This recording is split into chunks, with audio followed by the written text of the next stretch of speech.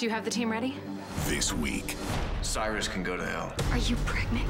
we'll reach Nina's in trouble because of Elijah. the boiling point. Looks like we each have some work to do. ABC's General Hospital.